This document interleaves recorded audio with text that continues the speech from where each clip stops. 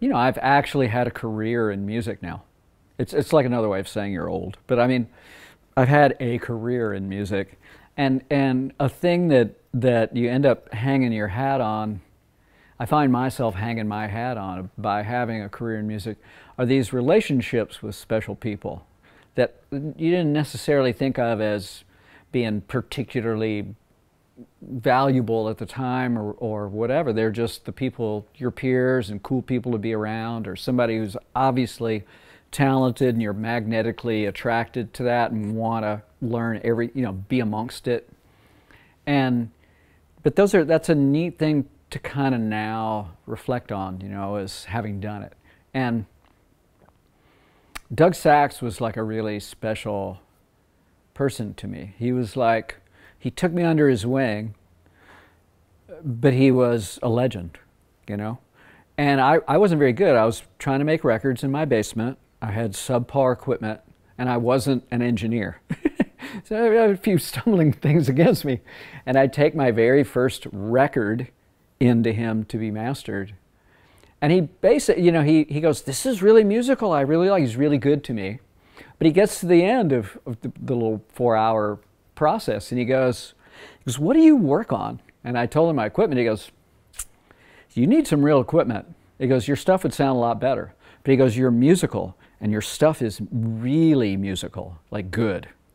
He goes, You're good. So just keep at it. Get better gear.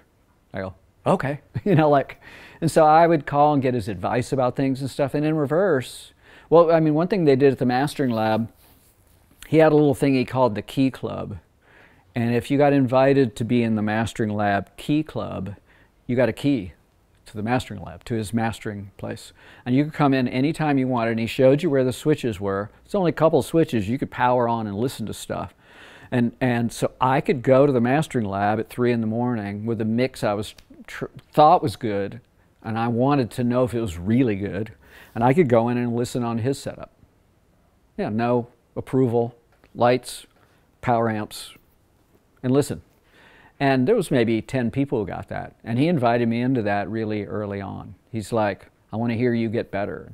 I remember I brought my second record to Doug, and he goes, Hey, a lot better. A lot better. You're listening. I go, Yeah, yeah. I took what you said about the this and that. I came down and listened one night. He goes, Oh, he goes, Oh, I wondered about that because he goes, Somebody left the door more locked than we lock it. I go, I wanted to make sure, you know. But like, and then in reverse, uh, he would even do these listening shootouts where he would invite four or five, all like famous people, and then me. And he'd invite us down, and we'd wear blindfolds, and we'd listen to different things, and then we'd write down what we thought, or we'd have specific questions and stuff. He'd do this kind of stuff sometimes once a week. It's just really a neat person, and it was really special that I, you know, got invited in by him. You know, I've always appreciated that once I got enough sense, I learned, I, I knew to appreciate that. And uh, with that, sometimes you'd kind of learn his gear preferences. They'd have modified LA2As that were the perfect, an LA2A with this, you know, perfected element that they didn't do stock, things like that. Doug, uh, or like the, you know, they came up with the crossovers for the Tannoy Super Golds. And this crossover and amp pairing thing made, made that an incredible speaker, right? They, they decided they were going to make a better C12 at some point, microphone. And they took C12 capsules and started experimenting with that. And one day Doug calls me, he goes, he goes, hey, do you want one? He goes, we've made a prototype of this C12 mic that Steve and I are trying to work up and make. He goes, would you take it and listen to it and see what you think and give us notes and stuff? And I go, absolutely. And that was this. That was this strange thing built into sort of a Radio Shack body. But it's a C12 capsule with their perfected mic pre, or power supply, I guess you'd say, but it's a mic pre too. And it has a tube in the mic body, which is very unique. C12 doesn't do that. And then it, the tube has to be powered, so it's just like a whole, I don't know.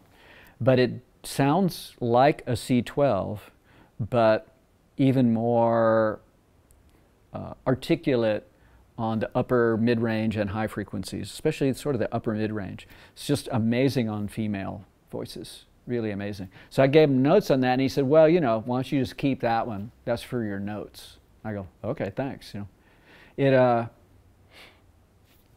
I think when they finished and really did the real ones, they didn't do this, but this one has, you know, you can attenuate. You know, it's your mic pre, so you can attenuate the mic. You can use it with a, another pre though, if you want, by going direct, and then you don't get their mic pre. So that was pretty useful too. But but it's really a you can use it like you use a C12, which is female voices is where you start with C12s, I think. But uh, and it's a real C12 capsule. I think I said that, but I'm saying it again. It's a real C12 capsule, but then it's got this extra tube kind of concept going. It's good.